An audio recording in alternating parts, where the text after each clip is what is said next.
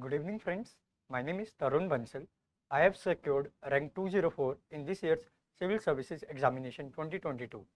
This was my last attempt, sixth attempt and I have cleared all the prelims examination in the last six attempts.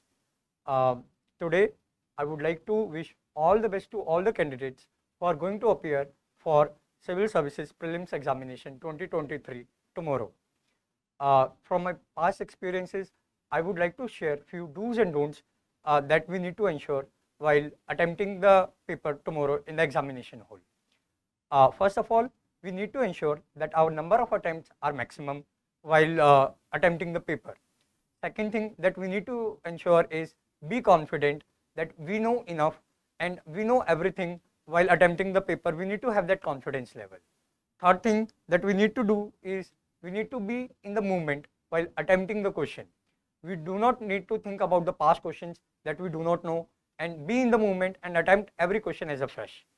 The things that we need to avoid at all costs is not to overthink and get overstressed if there is a difficult question and while uh, the second thing is that while bubbling out uh, the answers we need to be careful that we do not bubble the wrong answer.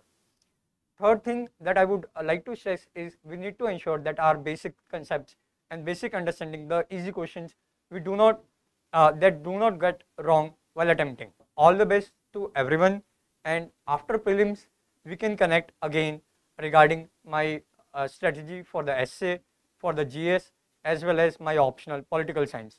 All the best everyone.